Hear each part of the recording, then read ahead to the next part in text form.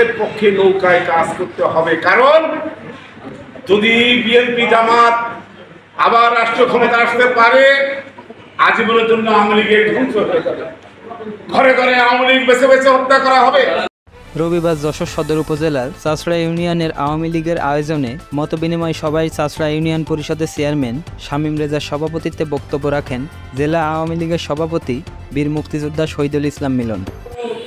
নেতা তরির ইসলাম খালেদ রহমান টিটুদেরকে বিপুল ভোটের মধ্যে পরাজিত করে বারবার নির্বাচিত এমপি হয়েছেন। কেন হয়েছিলেন?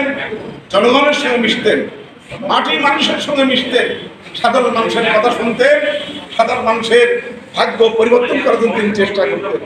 তা আজকে আমরা মনে করি, আমরা আগামী দিনে আমরা রসনের মতো লোক, যারা এদেশের মানুষের ভাগ্য পরিবর্তন করার জন্য এই আমাদের বন্ধু গেলে তার কথা শোনার জন্যে, আমাদের কুতুব গেলে তার কথা শোনার জন্যে গরম দিলেও কথা শুনতো। হাসতো কোনো কথা মানে উত্তেজিত হতো না।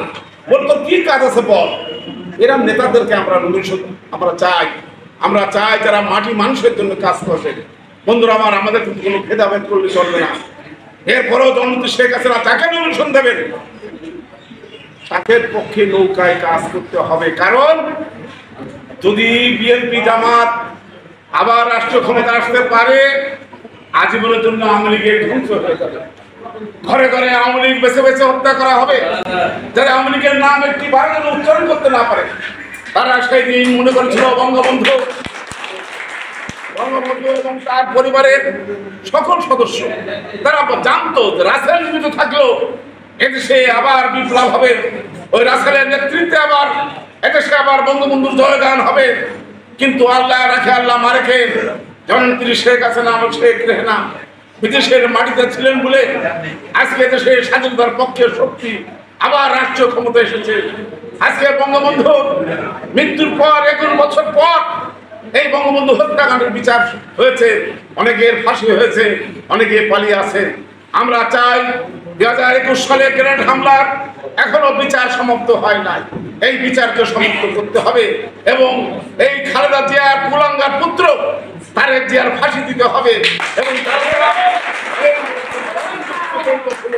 তাদেরকেও ফাঁসি দেখতে চাই আমরা। বন্ধুরা আমার জননেত্রী শেখ হাসিনা আমরা দক্ষিণবঙ্গের মানুষের জন্য তিনি গুরুত্ব সহকারে গুরুত্ব সহকারে তিনি পদ্মা সেতু নির্মাণ করেছেন।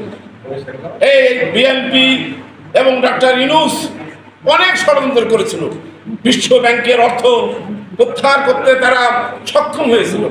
জননেত্রী শেখ হাসিনা বলেছিলেন, বিশ্ব ব্যাংকের অর্থ প্রয়োজন নাই। তিনি আমার বলেছিলেন, আমার দেশে অর্থ দিয়ে আমি এই পদ্মা সেতু নির্মাণ করব। আমরা সকালবেলায় রওনা দিই ঢাকার মাঠে, ঢাকার উদ্দেশ্যে। আবার সন্ধ্যের সময় ফিরে আসি। ঢাকা শহরে কাজ করি জায়গা লেগে আড়াই ঘণ্টা, আসতে লেগে আড়াই ঘণ্টা। আজকে মানুষের কোনো দুর্ভোগ নাই। আজকে সারা রাস্তা দোলদড়ি সিএমডি ঘাটে গড়াগড়ি দোলদি ঘাটে গড়াগড়ি রাত্রে বারোটায় পৌঁছাছেন পরদিন বেলা বারোটার মধ্যে পৌঁছাতে পারতে পারেন নাই।